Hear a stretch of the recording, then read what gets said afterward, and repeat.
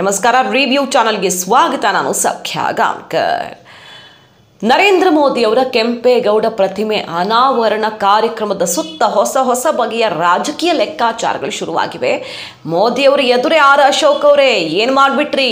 ಎಂಥ ತಪ್ಪು ಮಾಡಿದ್ರಿ ಅಂತ ಈಗ ಆಕ್ಷೇಪ, ಟೀಕೆ ಪ್ರತಿಪಕ್ಷಗಳಿಗೆ ಬಹಳ ಒಳ್ಳೆಯ ಅಸ್ತ್ರ ಸಿಕ್ಕಂತಾಗಿದೆ. ಮತ್ತೊಂದು ಕಡೆ, ಜೆ ಡಿ ಎಸ್ನವರು ದೇವೇಗೌಡರನ್ನ ಕಡೆಗಣಿಸಿದ್ದೀರಾ, ಒಬ್ಬ ಮಾಜಿ ಪ್ರಧಾನಿಯನ್ನ ಅಂತ ಧ್ವನಿ ಎತ್ತಿದ್ದಾರೆ.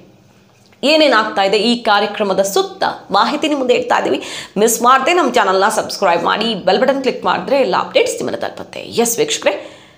ಮೊದಲನೇದಾಗಿ ಒಂದು ಫೋಟೋ ನಿಮ್ಮ ಮುಂದೆ ಇಡ್ತಾ ಇದ್ದೀವಿ ನೋಡಿ. ಮೋದಿಯವರ ಜೊತೆಗಿನ ಫೋಟೋ ಈ ಪ್ರತಿಮೆ ಅನಾವರಣ ಆದ ಬಳಿಕ ತಗೊಂಡಂತಹ ಫೋಟೋ ನಿರ್ಮಲಾನಂದನಾಥ ಶ್ರೀಗಳ ಹೆಗಲ ಮೇಲೆ ಒಳ್ಳೆ ಫ್ರೆಂಡ್ ಜೊತೆ ಇದ್ದ ಹಾಗೆ ಆರ್ ಅಶೋಕ್ ಅವರು ಕೈ ಹಾಕಿ ಫೋಟೋ ಪೋಸ್ ಕೊಟ್ಟಿದ್ದಾರೆ.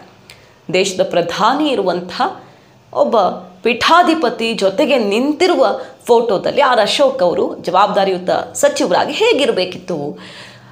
ಒಬ್ಬ ಸ್ವಾಮೀಜಿ ಅವ್ರಿಗೆ ಅವರದ್ದೇ ಆದ ಗೌರವ, ಘನತೆ ಇರೋದಿಲ್ವೇ? ಸಂಸ್ಕೃತಿ, ಧರ್ಮ ಅಂತ ಮಾತಾಡೋರಿಗೆ ಇಷ್ಟು ಕನಿಷ್ಠ ಪರಿಜ್ಞಾನ ಇಲ್ವಾ ಅಂತ ಈಗ ಕಾಂಗ್ರೆಸ್ ಟ್ವೀಟ್ ಅಸ್ತ್ರ ಪ್ರಯೋಗ ಮಾಡ್ತಾ ಇದೆ. ಹೆಗಲ ಮೇಲೆ ಕೈ ಹಾಕಿ ನಿಂತಿದ್ರಲ್ಲ ಅಷ್ಟು ಸಲೀಸ ನಿಮಗೆ ಸ್ವಾಮೀಜಿ ಅಂದ್ರೆ ಅಂತ ಸಮುದಾಯದ ವಿಶ್ವಾಸ ಗಳಿಸೋದಿಕ್ಕೆ ಹೊರಟಿರುವ ಬಿ ಜೆ ಪಿಗೆ ತಿರುಗೇಟ್ ಕೊಟ್ಟಿರೋದು ಕೈಪಾಳಿಯ ಮತ್ತೊಂದು ಕಡೆಗೆ. J D S J D S ದೇವೇಗೌಡರನ್ನ ಅವತ್ತು ಕುದ್ಲೆ ಪೂಜೆ ಕರೆದ್ರಿ, ಇವತ್ತು ನಿಮಗೆ ಅನಾವರಣ ಮಾಡೋದಕ್ಕೆ ನೆನಪಾಗಲಿಲ್ಲ ಅಲ್ವಾ ಅಂತ ಎಲ್ಲ ಕಡೆ ಸಿಕ್ಕಾಪಟ್ಟೆ ಈ ವಿಚಾರವನ್ನು ಮುನ್ನೆಲೆಗೆ ತರ್ತಾ ಇದೆ. ಆ ವಿಷಯ ಜನ ಕೂಡ ಮಾತಾಡ್ತಿದ್ದಾರೆ. ಯಾಕಂದರೆ ಆ ಸಮುದಾಯದ ಸರ್ವೋಚ್ಚ ನಾಯಕರಾಗಿ ಗುರುತಿಸ್ಕೊಂಡಿರೋರು, ಹಾಗೆ ದೇಶದ ಮಾಜಿ ಪ್ರಧಾನಿ ಕರ್ನಾಟಕದಲ್ಲಿರುವಂಥ ಏಕೈಕ ಮಾಜಿ ಪ್ರಧಾನಿ ಅವರನ್ನು ಕರಿಬಹುದಿತ್ತಲ್ವ? ಯಾಕೆ ಅನ್ನೋದು ಒಂದು ಪ್ರಶ್ನೆ. ಮತ್ತು ಎಲ್ಲರನ್ನೂ ಬೇರೆ ಪ್ರತಿಪಕ್ಷ ನಾಯಕರನ್ನೂ ಕೂಡ ಆಹ್ವಾನ ಮಾಡ್ಬೋದಿತ್ತು ಕುಮಾರಸ್ವಾಮಿ ಅವ್ರನ್ನ, ಸಿದ್ದರಾಮಯ್ಯನವ್ರನ್ನ. ಎಲ್ಲ ಯಾಕೆ ಕರೆದಿಲ್ಲ? ಅಂದರೆ ಆಹ್ವಾನ ಹೋಗಿರಬಹುದೇನೋ. ಎಲ್ಲರೂ ಇರೋ ಥರ ನೋಡ್ಕೊಂಡಿದ್ರೆ ಇನ್ನು ಎಲ್ಲರೂ ಸಂಭ್ರಮಿಸಬಹುದಿತ್ತು. ಕೆಂಪೇಗೌಡರು ಎಲ್ಲರನ್ನ ಒಟ್ಟಿಗೆ ತಗೊಂಡು ಹೋದವರು. ಆ ರೀತಿ ಕೆಲಸ ನಿಮ್ಮಿಂದ ಆಗಿಲ್ಲ ಅಂತ ಆಕ್ಷೇಪ ಎತ್ತಲಾಗ್ತಿದೆ. ಅದರಲ್ಲೂ ಪರ್ಟಿಕ್ಯುಲರ್ಲಿ ದೇವೇಗೌಡರನ್ನ ಕಡೆಗಣಿಸಿದ್ದಾರೆ. ಗುದ್ಲಿ ಪೂಜೆ ಕರೆದು ಈಗ ಪ್ರತಿಮೆ ಅನಾವರಣ ಕ್ರೆಡಿಟನ್ನು ಬಿ ಜೆ ಪಿ ಸಂಪೂರ್ಣವಾಗಿ ತಾನು ತಗೊಳ್ಳೋದಕ್ಕೆ ರಾಜಕಾರಣ ಮಾಡ್ತಾ ಇದೆ ಅಂತ ಟೀಕೆ ಶುರು ಮಾಡಿದ್ದಾರೆ. ಅದರಲ್ಲೂ ಮೋದಿಯವರು ದೇವೇಗೌಡರಂದ್ರೆ ಅಷ್ಟೆಲ್ಲ ಗೌರವ ಕೊಡ್ತಾರೆ. ಅಲ್ಲಿ ತಾನೇ ಕಚೇರಿಗೆ ತ ಕರ್ಕೊಂಡು ಹೋಗಿ ಕೂರಿಸಿ ಎಲ್ಲ ಮಾಡೋರು ಎಲೆಕ್ಷನ್ ಹತ್ರ ಬಂದಿದೆ. ಸುಮ್ಮನೆ ಇವ್ರನ್ನ ಕರ್ಕೊಂಡು ಬಂದು ಗೌರವ ತೋರಿಸ್ಬಿಟ್ರೆ ಅದರ ಸಂದೇಶನೇ ಬೇರೆ ರೀತಿ ಇರುತ್ತೆ. ದೇವೇಗೌಡರ ಬಗ್ಗೆ ಮತ್ತಷ್ಟು ವೇವ್ ಕ್ರಿಯೇಟ್ ಮಾಡಿಕೊಟ್ಟಂಗಾಗತ್ತೆ ನಾವೇನೇ?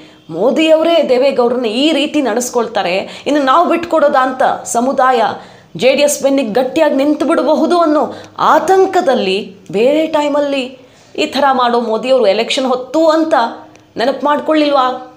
ದೇವೇಗೌಡರನ್ನ ಅಥವಾ ಇದು ರಾಜ್ಯ ಬಿಜೆಪಿಯ ಲೆಕ್ಕಾಚಾರವ ಅನ್ನೋದೆಲ್ಲ ಚರ್ಚೆ ಆಗ್ತಾ ಇದೆ. ಜ್ಞಾನ, ಕರ್ಮಜ್ಞಾನ ಎರಡೂ ಇರುವಂತಹ ನಾಯಕ, ಮಹಾನ್ ನಾಯಕ, ಧರ್ಮ, ಸಂಸ್ಕೃತಿ ಅರಿವಿರುವಂತಹ ನಾಯಕ ಅಂತೆಲ್ಲ ಬಹುಪರಾಕಂದ್ರು ಫುಲ್ ಮಾರ್ಕ್ಸ್ ಕೊಟ್ಟರು ನಿರ್ಮಲಾನಂದನಾಥ ಶ್ರೀಗಳು. ಈ ಮೂಲಕ ರಾಜಕೀಯವಾಗಿ ಬಹಳ ದೊಡ್ಡ ಲಾಭ ಆಗುತ್ತೆ ಅನ್ನೋ ಲೆಕ್ಕಾಚಾರ ಶುರುವಾಗಿರೋ ಹೊತ್ತಲ್ಲೇ ಕೈಪಾಳ್ಯ ಮತ್ತು ಜೆ ಡಿ ಎಸ್ ಈಗ ಈ ರೀತಿ ಬಿ ಜೆ ಪಿಯನ್ನು ಕಟ್ಟು ಹಾಕೋದಕ್ಕೆ, ಅಖಾಡಕ್ಕೆ ಧುಮುಕಿರೋದು. ಕಾದ್ ನೋಡೋಣ.